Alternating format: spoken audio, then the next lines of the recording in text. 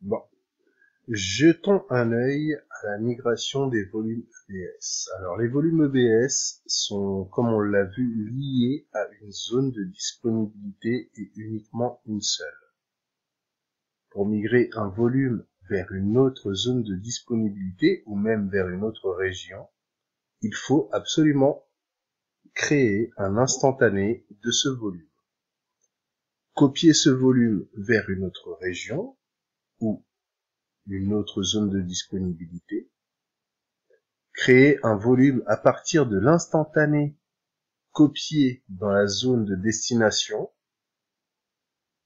afin de pouvoir recréer un volume à partir de cet instantané. Voyons comment cela se démontre dans la console.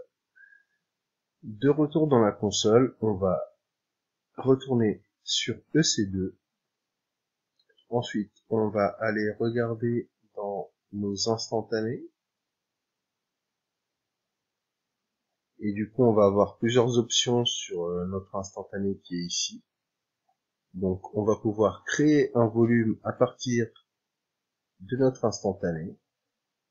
On va conserver les options initiales, donc un GP2 à 2 Go, 2 Go défaut de la souris.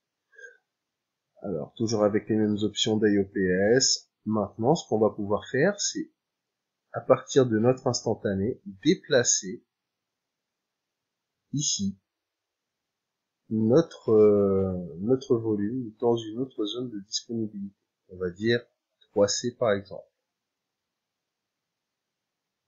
On peut évidemment avoir les options par défaut, le chiffrement, le tag, etc.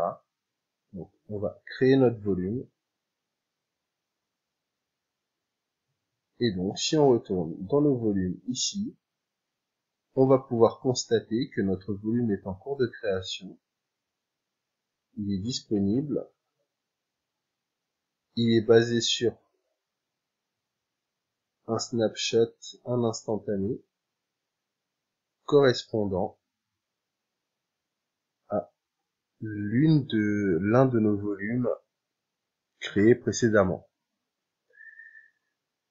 Bon bah c'est un module très court, très simple, donc on peut euh, migrer assez facilement des volumes d'une zone à une autre ou d'une région à une autre.